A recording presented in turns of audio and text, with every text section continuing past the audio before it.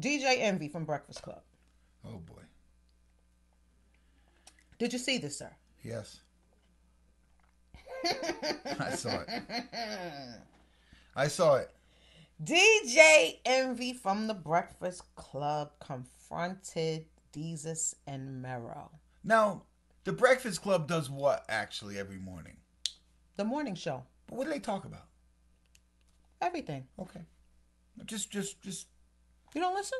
No, I listen. I listen. Like, I just, I'm trying to, Are you trying to build a funny? I'm trying to build. I'm trying to lay the groundwork. I'm trying to lay the groundwork for where this story's gonna go. I like the Breakfast Club, by the way. I, I, I, I yeah, they're okay. You I don't like it? the other show either. What I don't like either show? one of the shows. I don't like the Hot 97 show or the Breakfast. No, I don't listen to that one. I neither one of them are very. No, no, no, no, no, no, not for nothing. But the what are you talking about? The Ebro morning? Yeah, yeah, no, no, I don't listen to that. That's not. Uh, Breakfast Club is what's popping in the morning. Period. If you say so. No, no, no. Just critics' opinion. Understand? Okay.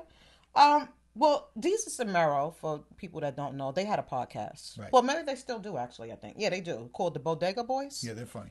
And now they have a new TV show. Right. Very funny. I like them. And no, I like them too. Yeah, I good. like them too. So they've been on um uh what's his name? Charlamagne's show that he had. It's not it's not on anymore, but he had a show on MTV too. I can't think of it. I don't know. X Study. He's there. He's he doesn't do nothing.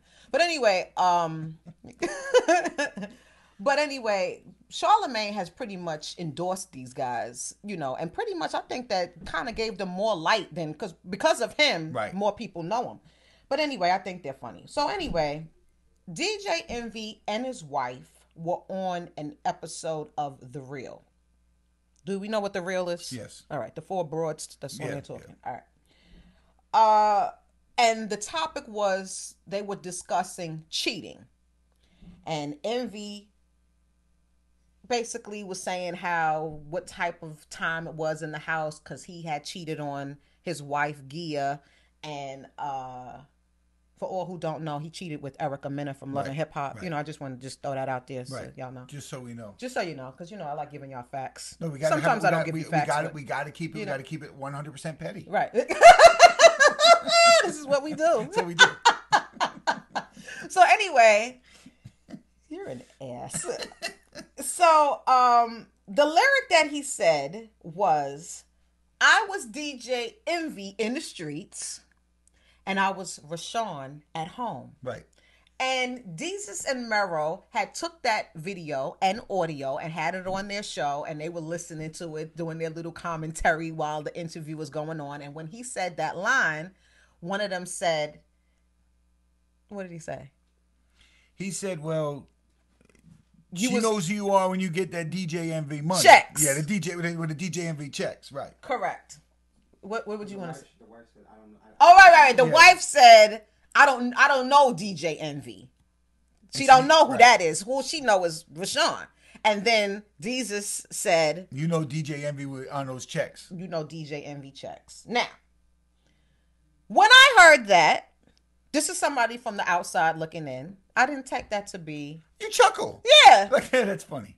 You don't say, "Oh, that's cold." Listen, there's a lot of ways that we could look at this situation. Right. Now, I got several ways that I've looked at this situation. At first, when I saw that he was super angered about that house, I'm like, nigga, stop. It is not that serious. You up there pouting, arms folded. Arms folded. When dudes come in, because and and the reason I'm feeling like the reason why he's ready to like be on his thug shit and mad is because his wife was like, let me tell you something, nigga. I don't like that comment. And when you go to work tomorrow, you gonna let them know to put some respect on my shit.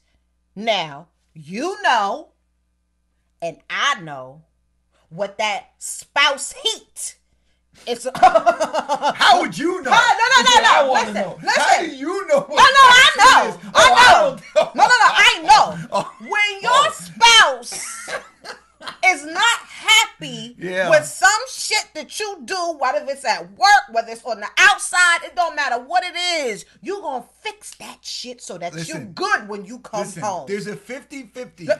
Listen now, I'm we're gonna do some math here. All right, let's do it. There's a 50-50 heat factor. Okay, in a normal relationship. Normal. If you ain't do any dirt, and I ain't do any dirt, Right. relationship. 50-50. Right. Okay? You do some dumb shit, you're gonna get heat from me. Right. I do some dumb shit, I'm gonna get heat from you. Right. When I go fuck Erica Mena, Right. it's 90-10. Let me explain. Let- You see, you see, What? 50 It is now over here. So now we have that Erica Mena heat factor goes 90 10. So 90 though? Yes. Now I'm gonna put it I'm gonna put it I'm gonna put it in in in terms that the streets can understand. Okay. Yes is on probation. That's a death.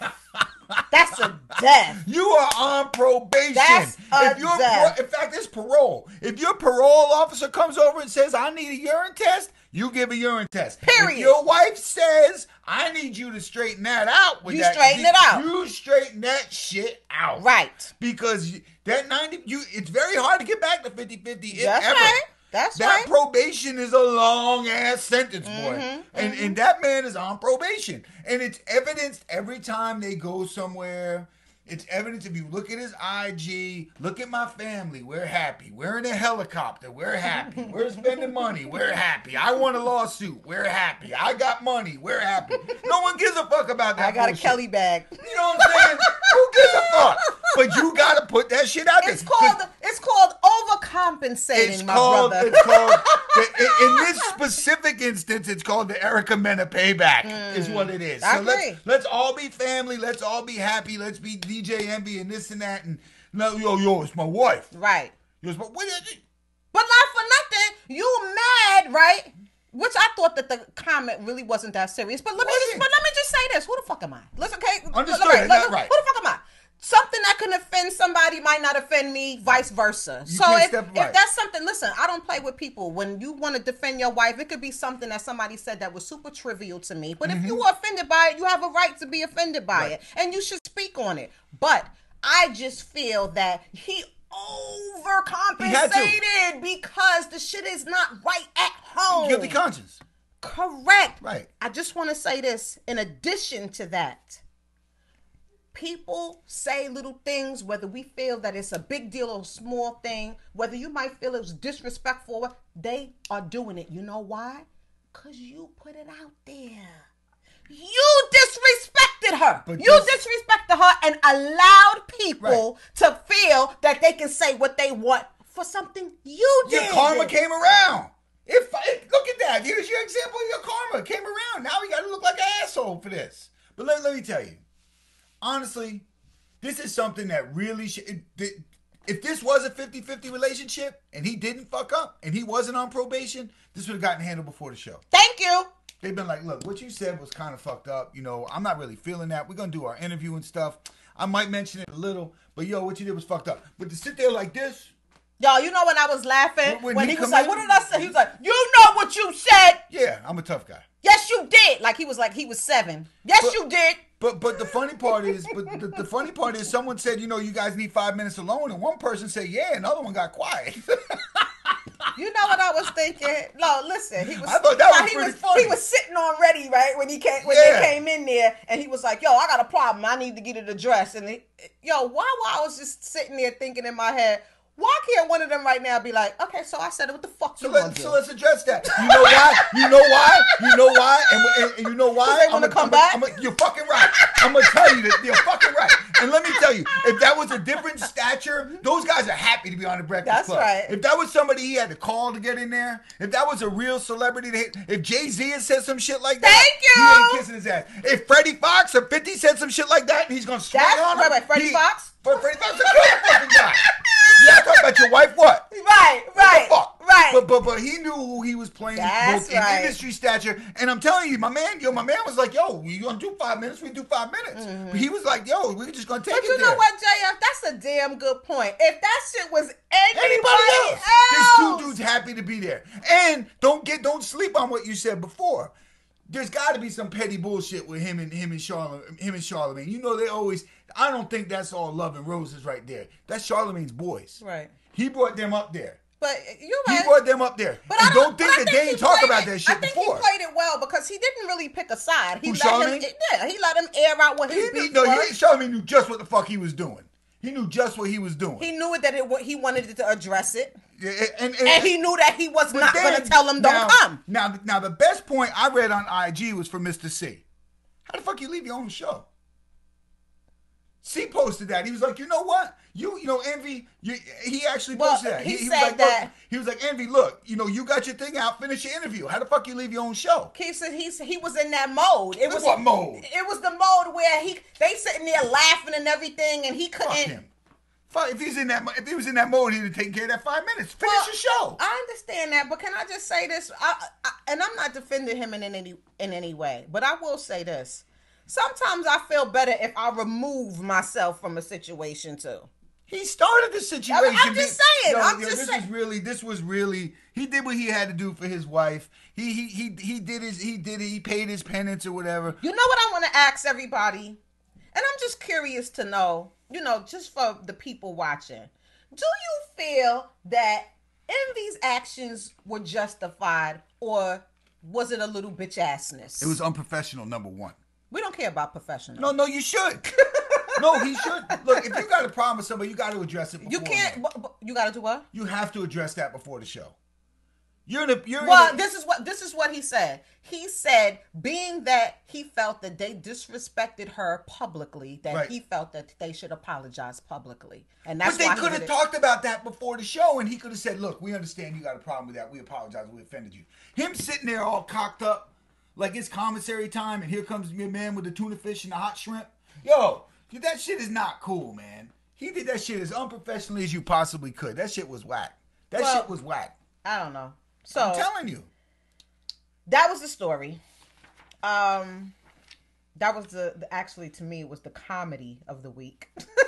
I was actually going to say when you said that, he, that Nick Gordon called to police crying, I was going to ask you if it was envy. you know what? But Good I didn't want to. I didn't want. I didn't want to jump the gun. But yeah, maybe it was Envy who called, not Nick Gordon. I don't know. I I just think that overall it was just kind of corny and like I said before, dudes don't feel comfortable to come for your wife and to say anything sideways out their mouth until you put your family in that position. yeah, you would have never been on the show talking about cheating if you ain't cheat. How you like that? That's what I'm saying. What goes? And then he said he was offended by it because how you gonna say my wife was with me for the money and my wife was with me since I was 15 years old? And then with that being said, I'm sitting up here like, so you know what it is? Why are you mad? yeah. I don't understand that. It was just like I said, He had just- to pay his penalty. If- if- we can look at the chart again if you want. It's ninety percent, ten No, no, percent, no, I- and I what he's he's got to do. What she says ninety percent of the time. He could pick one thing that he don't want to do. It might be the garbage that week, but when he gets ten demands, he's doing nine. I hear you. I hear you.